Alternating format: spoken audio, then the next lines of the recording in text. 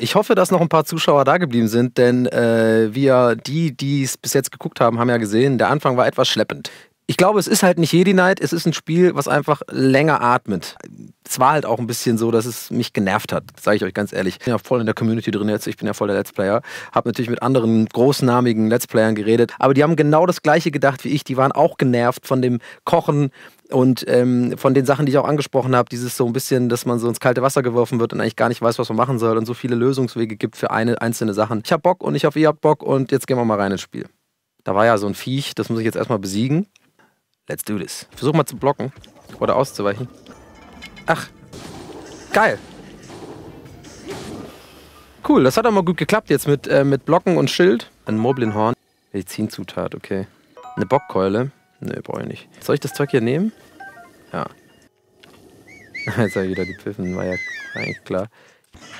Oh, scheiße. Äpfel gibt's ja wie Sand am Meer. Boah, der Typ ist krass. Boah, der war nice, Leute. Ein Wischmob. Was ich denn? Wieso läuft er denn mit einem Wischmob rum? Ich versuche jetzt mal nicht alles aufzuheben. Ich, ich, ich glaube nicht, dass man so mega looten muss hier immer. Weil nachher ist die Tasche voll. So, was geht hier ab? Ist ja cool. Machen die mir was? Oder sind die, sind die friendly? Das sind richtig viele. Ich hau ab. Da habe ich keinen Bock drauf. Ich check das jetzt einfach mal aus auf dem Weg. Jetzt sehe ich es auch, dass es blau wird. Das ist mir halt vorher echt nie aufgefallen. Einfach zu blöd gewesen. Okay, geil, Leute. Ein Schrein. Habe ich Bock. Habe ich Bock blind drauf. Sondere Yakanda Link. Und Ryakanda Schrein. Oh, guck mal, hier Wind. Classic. Classic Zelda. Ah, das macht Bock. Hast meine zweite Prüfung gemeistert. Ohne Zweifel bist du der auserwählte Held. Ja, das wissen wir doch jetzt langsam. Das hast du mir jetzt schon viermal gesagt. Es war einmal ein Donny, der ein Let's Play begann. Es war ein grauer und ein kalter Morgen. Er verließ das Haus. Seine Haare waren zersaust. Er ging auf die Straße und dann passierte etwas. Die Story wird beim nächsten Mal Laden weitererzählt. Äh, Laden weitererzählt. Oh, ich hole mir die Kiste. Na klar hole ich mir die Kiste. Yes, Mann! Nein, ich bin, hab aus Versehen so, so einen anderen Sprung gemacht. Egal, die holen wir uns noch, die Kiste. Yes! Geil! Ein violetter Rubin. Ey, die ersten Rubine, Leute! Rubinkarte! Kochen ist jetzt erstmal vom Menü, Leute. ich versuche jetzt erstmal alles anders zu lösen. Okay, wer ist der Dude? Das ist doch. Ey, unser. Geil, Leute, passt auf. Unser erster Mensch, außer, also der nicht der alte Mann ist. Creepy Typ, der mit sich selbst redet und mir das erzählt, was ich eigentlich schon weiß. In der Gegend um Schloss Hyrule gibt es noch einige Wächter. Kenne ich, weiß ich. Pass auf dich auf. Zwei Sachen ziehe ich aus diesem Gespräch. Ich mache erstmal keine Stimmen mehr nach. weil es viel zu anstrengend ist. Und zweitens, äh, er hat mir jetzt nicht verraten, wie ich diese Dinger äh, zerstöre. Finde ich ein bisschen schade, dass er mir jetzt nicht gesagt hat, wie ich die killen kann. Er hat mir jetzt einfach nur gesagt, dass es die gibt. Ja, da. Also, Mann mit den komischen Ohren. Ciao. Ey, Leute, Bockblindlager, haben wir Bock? Haben wir Bock auf ein Bockblindlager? Boah, ja, nee, ich habe einfach nichts, damit ich. Nee, den machen wir jetzt nicht. Oh, da sind Bockblitz. Sorry. Ich mache jetzt mal was richtig krasses. Ich gehe jetzt auf den Berg und rolle die Bombe runter. War das nicht schlecht? Das war doch nice, oder nicht? Geht mal hin, geht mal hin, geht mal hin. Ja, ja, checkt mal aus. Was ist das? Das ist ja interessant. Bam! Jetzt gebe ich dem einen den Rest. Scheiße, ich bin gleich tot. Schnell einen Apfel. Oh, das sieht nicht gut aus. Nein! Oh, der hat mich mit einem Schlag. Boah, der hat mich mit einem Schlag. Ich hatte gerade volle Energie. Als er das Haus verließ, war dort eine Banane.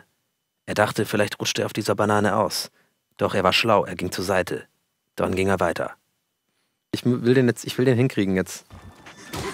So, wo ist jetzt der andere? Ist der wirklich ertrunken? Ach geil. Die können nicht schwimmen, die Bockblins. Och, schade aber auch. Speichern. Zack. Speichern. Eine Schleichschnecke. Alles klar. Passt gut zu meinen Eicheln. Herzlich willkommen zurück aus der Werbung. Wir haben gerade ein Bockblindlager sowas von aufgemischt mit, den, mit einer geilen Bomben-Action. Ich habe die von da oben hier runterrollen lassen. Wie eine Kegelbahn war das. Ich war ja jahrelang in Berlin im Kegelverein. Da habe ich das gelernt. Schön zwölf Bier trinken, unten Kegel im Keller spielen, Schultheiß, richtig geil.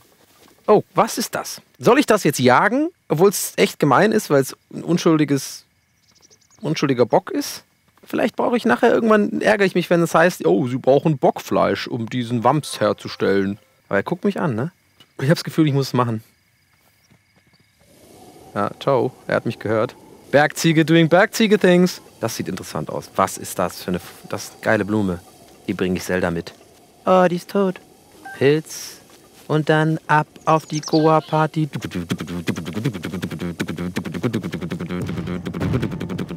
Goa-Party. Was ich auch ehrlich gesagt ein bisschen cooler fand bei den alten Zelda Zeldas, ist einfach, es gab halt einfach Herzen, fertig.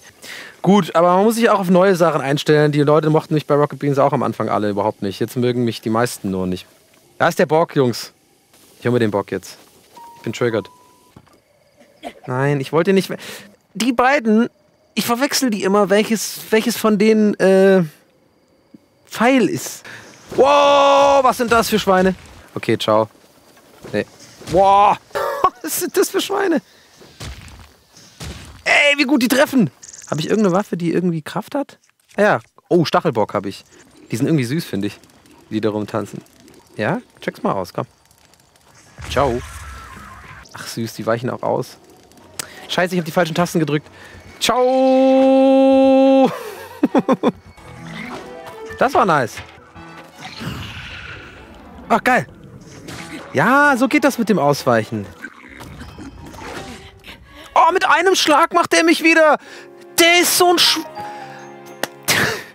Der ist, wieso macht er diese blauen, diesen krass? Ich hatte den fast, habt ihr gesehen? Ich hatte den fast. Er ging die Straße entlang. Die Banane machte ihm gar nichts aus. Doch es war Zeit, die Straßenseite zu wechseln. Er schaute nach links, er schaute nach rechts. Es kam kein Auto. Er betrat die Straße. Jetzt kommen die von hinten auch noch. That's what she said. Okay. Die blauen Typen sind einfach, ähm, sind hart. Sind sie einfach. Die sind einfach hart. Die dürfen, die dürfen. Als er die Straße betrat, beschleichte ihn ein mieses Gefühl. Ja, komm. Ja. Da ist doch so ein Ding. Ja! Nice Stein. Nur noch der blaue. Komm, wir machen den jetzt. Ja! Scheiß blauer. Ja!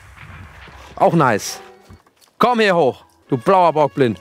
Ich mach dich quack. Yes! Bockblindlager offiziell aufgemischt. Tja, das war nicht schlecht mit dem Runterrollen, ne? Ha? Ohne Google und nix. Einfach hier Gehirn benutzt, Leute. Gehirn.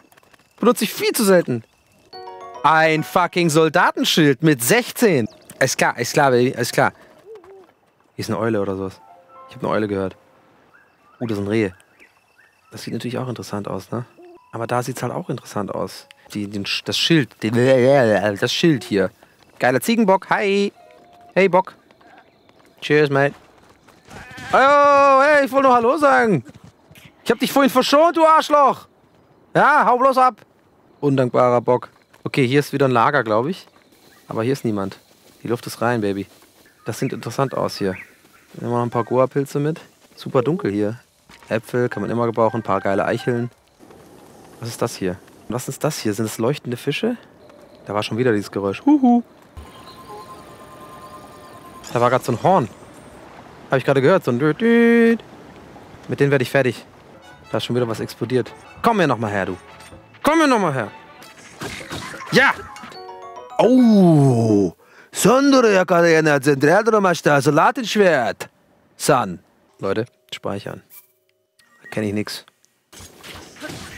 Oh, mit einem Schlag. Ciao. Ich mische die oben jetzt auch noch auf. Leute, komm, wir haben einen Run. Wir haben einen Bockblind-Run. Wir sind der Bockblind-Destroyer. Schleichmodus activated. Oh, scheiße. Oh, gegen zwei blaue gleichzeitig. Ich, jetzt gehe ich richtig ab. Bitch! Geiles Schwert! Boah, Reise Zweihänder. Mann, wieso gibt's denn hier keine Kisten mehr, immer wenn ich die, die Jungs aufmisch? Die Dinger check ich irgendwie auch immer noch nicht. Muss ich da hochklettern eigentlich? Da ist ein Boot. Wenn ich da mal nicht irgendwas mitmachen kann. Geil.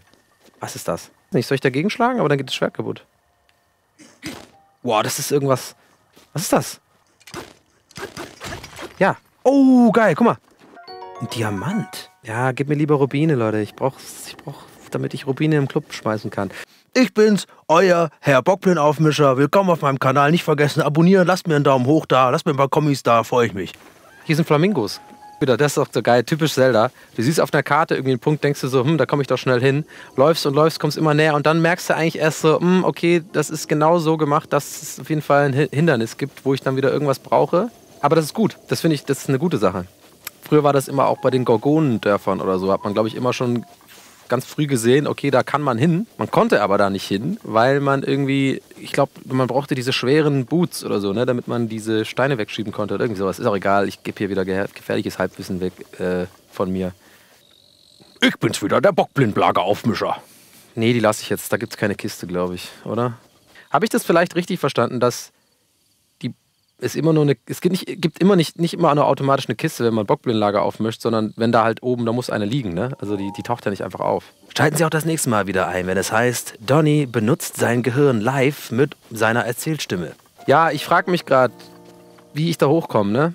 Klettern wird nicht reichen, aber wir probieren es einmal. Das reicht nicht, oder? Doch, das reicht. Na klar reicht das. Kletter, Link, kletter.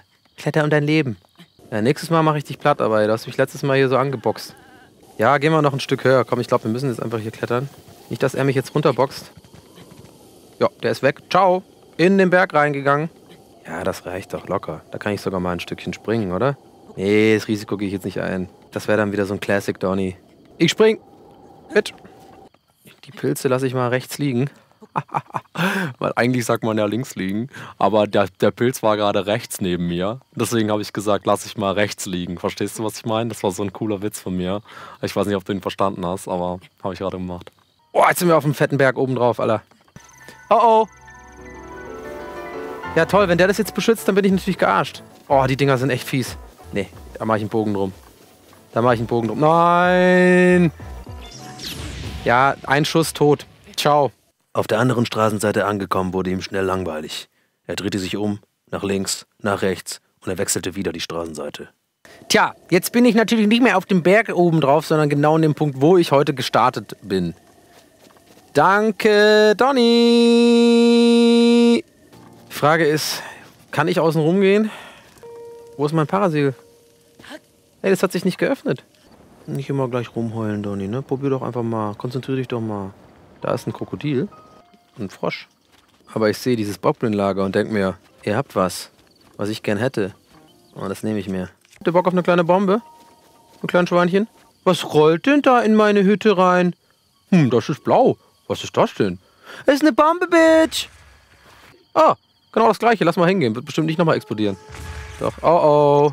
Der hat das Horn geblasen. Oh oh. Das wird der epischste Kampf, den ich bis jetzt je gesehen habe. Ich werde sie vernichten. Okay, eins ist down. Jetzt haut er ab. Die haben Schiss vor mir. Der ist ab, echt abgehauen. Warum haben die Schiss vor mir? Ich kann doch nichts. Yes. Hat geklappt. Jetzt gebe ich ihnen den Rest. Soldatenschwert bricht gleich. Oh, ich will nicht, dass es bricht. Das war so geil. Boah, du Schwein. Boah, ihr Schweine. Puh, erstmal wild essen, Alter. Und noch ein Apfel dahinter als Nachtisch. Ja, mit so einem Schild hast du nicht gerechnet, du scheiß Bockblind. Oh, scheiße, Leute. Jetzt, komm on. Nice. Bin gleich tot, bin gleich tot. Nein! Nein, ich wusste, ich wusste, ich wusste. Ich hatte noch einen Schlag, weil ich einfach dumm bin und immer das Risiko eingehe und denke, ah, oh, ich brauche jetzt keinen Apfel. Die Straßenseite gefiel ihm auch nicht, aber er dachte sich, er muss in einen anderen Teil der Stadt laufen. Also ging er los. Nice one. Autosave. Gotta love it. Oh, bitte sag sowas nicht, Donny. Gotta love it. Das klingt so widerlich. Ach, scheiße, ich hab's verkackt. Oh, die sind dumm. Die haben sich selber nicht aufgesprengt. Mit einer Axt mache ich dich. Zwei Hände. Oh, ist das langsam. Ja, schon wieder einen blauen weg. Dieses Lager wird noch aufgemischt, Leute. Kanonenfutter. Yes! Nice! Gib mir eine Kiste jetzt als Belohnung, bitte. Das war jetzt schon voll der Stress. Hier sind zwei Kisten, Baby. Gib mir Rubine. Bernstein. Immerhin nichts mit Kochen. Oh, ein Röstbarsch. So lecker. Was ist das da oben? Nee, das geht Flix. Flux. Fix heißt es. Ey, da ist ein Bock mit auf dem Pferd oder was? Das Pferd will ich haben. Komm du mir her. Wow, war der Schuss nice. Und ich habe ein Pferd, glaube ich. Ich habe ein Pferd. Ey, Mahenya, Balabus, ja, ich habe ein Pferd. Täscheln. Was heißt Täscheln? Links. Ho, ho. Servus. Bist du ein Pferd? Da macht er irgendwie gar nichts, wenn ich Täscheln drücke. Hüha! Ja, das sage ich auch. Wenn man größere Entfernungen gehen will, legt man sich am besten ein Pferd zu. Duh. Ja, ist geil mit Pferd. Täscheln. Was, bringt, was heißt Täscheln? Ich, so, ich, ich bin nicht geritten früher. Ich weiß nicht, was Täscheln heißt. Erschrecke ein Huhn. So legte sein Ei. Aber übertreiben sollte man es nicht, denn im Zweifelsfall lachen die Hühner zuletzt. Okay, Lowfella. Du bist auf jeden Fall weird. Ich habe gerade eine äh, originale SMS bekommen und dachte mir so, okay, ich gucke später. Hab kurz mal drauf gedingst, das ist eine SMS von Dominos. Drei für zwei günstige Pizza gratis. Ich bin also, selbst Dominos schickt mir SMS. Also, selbst die wissen, dass ich mittlerweile ein Fettsack bin. Die Frage ist, kann ich den jetzt rufen? Nö. Wir kommen unserem Ziel näher, Leute.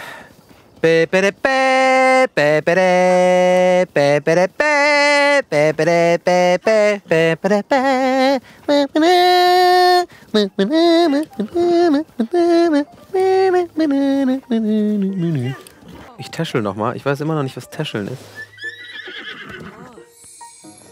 Vielleicht ist es wie daten mit einer Frau, wenn du irgendwie genug nett bist, dann wird sie dein. Ja, du Bock. Blöder Bock, ey. Scheißbock. Du bist kein Geißbock, du bist ein Scheißbock. Ja, ciao. Ja, lass mich weg. Du warst, du warst nett und so, aber ciao. Diesen Berg, den erklimmen wir jetzt. Ich speichere jetzt mal. Das ist halt die Frage, ob uns jetzt noch auf dem Weg nochmal so ein Laseraugen-Dude über den Weg läuft. Oh, warte mal, hier ist, da kann er gar nicht laufen. Reicht das noch? Oh, das wird ganz schön knapp, Leute. Das wird richtig knapp. Hei, hei, hei. Ach, bitte, bitte, bitte, bitte, bitte, komm. Komm.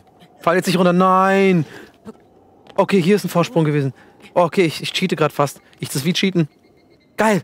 Ich glaube, das ist gar nicht dafür gemacht.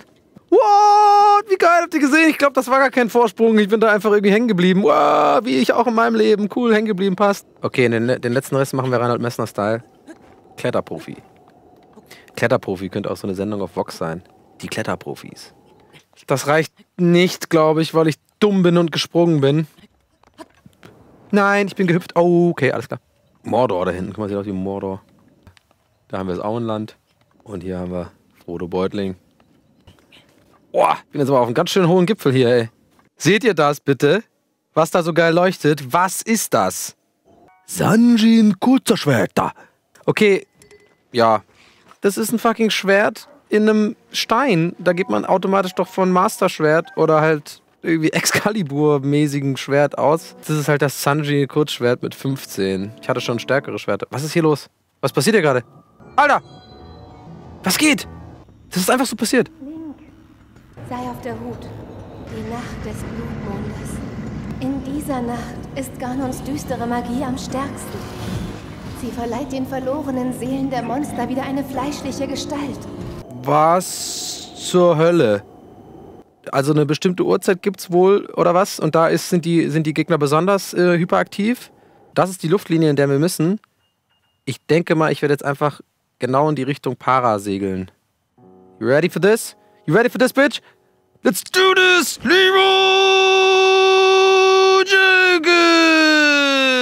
Jugend! Worüber fliege ich da eigentlich gerade? Über ein Dorf oder über ein Bockblindlager? Vielleicht habe ich Bock auf das Dorf. Ich habe Bock auf das Dorf. Ja, natürlich habe ich Bock auf das Dorf. Das ist Kakariko, Alter. Musik gefällt mir, aber ich muss schon sagen, ein bisschen fehlt einem die, die typische normale Kakarika-Musik, ne?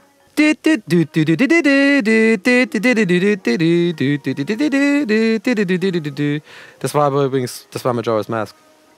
In der Stadt, ne? Du solltest unbedingt Impa, unsere Anführerin, aufsuchen. Wo finde ich sie? Ja, Impa muss man auf jeden Fall machen. Okay, wir gehen direkt dahin auch. Ja, ganz ehrlich, das hier erinnert mich von der Grafik ein bisschen an. Äh, ach Mensch, wie hieß es denn jetzt nochmal der Teil? Weißt du das, Paul, noch? Weißt du, was ich meine? Eine große, eine große Nummer. Ich weiß, dass es einfach ist. Ich komme einfach, mein Gehirn ist gerade. Ach Mensch, wie hieß das denn nochmal? Das erinnert mich an die Grafik da. Von dem letzten Teil da. Far Cry. Far Cry meine ich. Okay, was? Die wollen mir irgendwas Böses? Wer bist du? Das hier ist Impas Anwesen. Hm. Ich gehe mal direkt jetzt. Ich dachte, vielleicht gibt es hier noch irgendwie geilen, geiles, geiles Gelöt. Gelut. Seid ihr etwa der, dem Großmutter immer spricht? Li, li. Link, Baby. Ich heiße Papaya. Papaya, Papaya, Coconut Banana. Puh, endlich ist es draußen. That's what she said. Paya ist süß. Ich mag Paya. Die ist mir sympathisch. Guck mal, das, ey, das sieht so geil aus. Also es ist so ein bisschen wie so, ich habe das Gefühl, wie so der feuchte Traum eines Japan-Touristen. Auch diese Musik und diese Häuser und so. Wenn ich die letzten Worte der Prinzessin an dich weitergeben soll, dann muss dir eines klar sein. Du musst bereit sein, dafür zu sterben. Wenn du entschlossen bist, die Worte der Prinzessin zu hören, komm noch einmal zu mir. Ich würde die auch jetzt gern hören, Impa. Sag ich dir ganz ehrlich. Wenn du nicht fest entschlossen bist, kann ich sie dir nicht übermitteln. Bist du bereit, für sie zu sterben? Natürlich.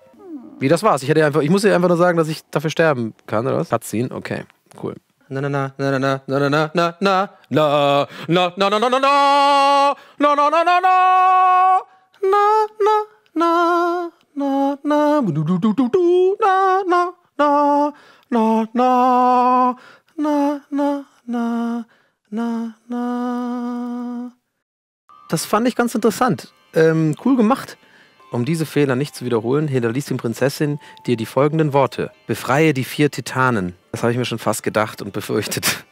Der Titan von Mifa, der Zora, das sind diese Wasserdudes, nannte sich Varuta. Und Obosa von den Gerudo steuerte Vanoboris. Ey, schwer zu lesen. Vielleicht kannst du im Institut für Antikenforschung in Hateno Hilfe bekommen. Okay, wo ist Hateno? Wir sind, wir sind offiziell in der, in, der, in der Hauptquest sozusagen drin. Der Klassiker, äh, Goronen, Soras, äh, die anderen beiden habe ich gerade vergessen, aber ähm, ja, jetzt geht's in die Dungeons, glaube ich. Und das ist natürlich geil. Vielleicht muss ich tatsächlich ein bisschen im Dorf ab, abchillen und so ein bisschen mit den Leuten reden, um ein paar coole Items zu kriegen. So viele Möglichkeiten, Leute. Heiligsblechle, hier gibt's Kleider. Dann nimm mir doch gerade mal mit. Und dann trägst du auch noch einen Schikastein am Gürtel. Sondergötter ja da. Ich verstehe zwar nicht viel von dem ganzen Zeug, aber du bist irgendwer ganz Wichtiges, oder? Ja, bin ich, Baby. Ach, die Folge ist vorbei, sagt Paul gerade. Ey, krass, wie schnell die Zeit vergeht, ne? Ich bin jetzt schon so drin in diesem Game, dass ich wirklich jetzt die Stunde ging so schnell rum. Dann sehen wir uns zur nächsten Folge. Bis zum nächsten Mal. Das war's. Ciao.